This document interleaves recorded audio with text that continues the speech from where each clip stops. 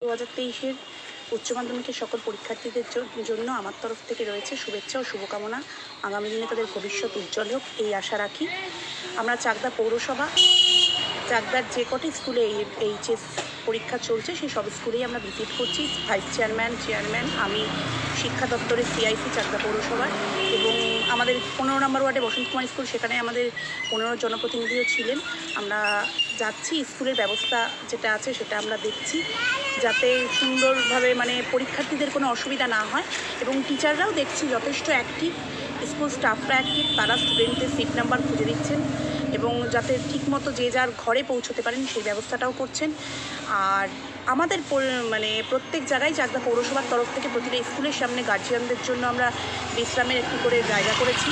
সেখানে তারা এই তিন ঘণ্টা বসতে পারবেন। আর প্রতিটি স্কুলে আমরা মেডিকেল টিম রেখেছি চাকদা পৌরসভায় জরুরি ভিত্তিতে যদি কোনো প্রয়োজন হয় সহযোগিতার জন্য এবং আমাদের নাম্বার দেওয়া আছে, যে কোনো প্রয়োজনে তারা যেন আমাদের সাথে যোগাযোগ করতে পারে। সেই আশ্বাস আমরা প্রত্যেকেই দিয়ে